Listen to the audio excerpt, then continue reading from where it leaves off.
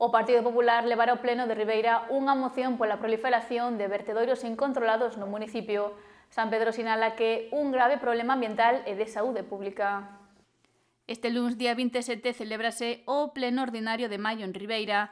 Nesa sesión, o Partido Popular da localidade tratará unha cuestión que define de grave problema ambiental e de saúde pública a proliferación de vertedoiros incontrolados. Fai eh, dous meses denunciábamos a través de unha pregunta xa no Pleno Municipal, creo que foi do mes de marzo, pois dese vertedoiro incontrolado no que se estaba convertindo o, o aparcamento de, de Deán Grande, non unha finca que está alugada polo Concello, pero que é o propio Concello tamén quen depositou en toda a súa extensión pois eh, moitísimos residuos, eh, restos de obra, etc. etc. Polo tanto, ademais de eh, deixarlle ali aos veciños algo que non é nada agradable, están pois incumplindo eh, actividade para cal o Concello paga un aluguer pois eh, anual para que, para que haxa un servicio neste caso de aparcadoiro. San Pedro apunta que ese aparcadoiro segue prácticamente igual, xa que afirma que só se retiraron parte dos residuos.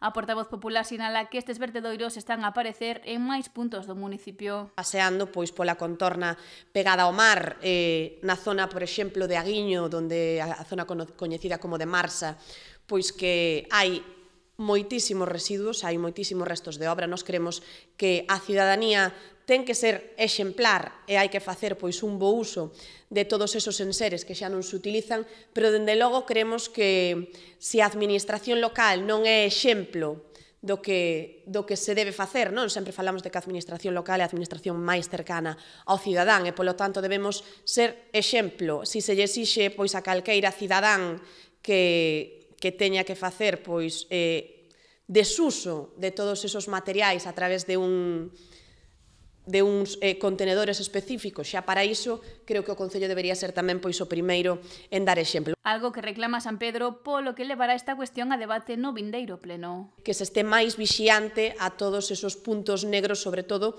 como xa os coñecidos, como pode ser a zona de Couso, na que tamén nos atopábamos recentemente pois unha proliferación bastante amplia do que son pois todos esos eh, residuos impropios. Falemos de botes de plástico, falemos de eh, electrodomésticos vellos, falemos de madeiras, falemos de restos de obra, etcétera, etcétera. Entre as peticións dos populares atópase retirar todos os vertedoiros incontrolados identificados a maior brevidade ou a posta en marcha dun plan de prevención e sensibilización que conte con vixilancia nos puntos reiterativos para identificar os infractores.